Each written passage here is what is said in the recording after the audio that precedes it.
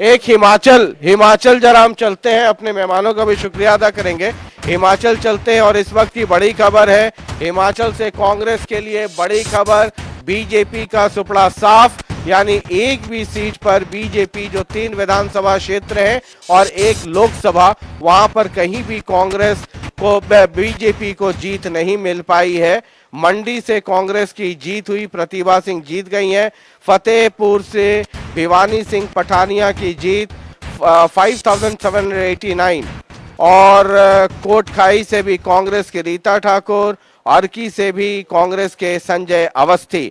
यानी कि ठाकुर साहब को सोचना होगा, आने वाले समय में हिमाचल में जब एक साल रह गया है तो कहाँ कसर रह गई, कहाँ स्क्रू टाइट करना होगा।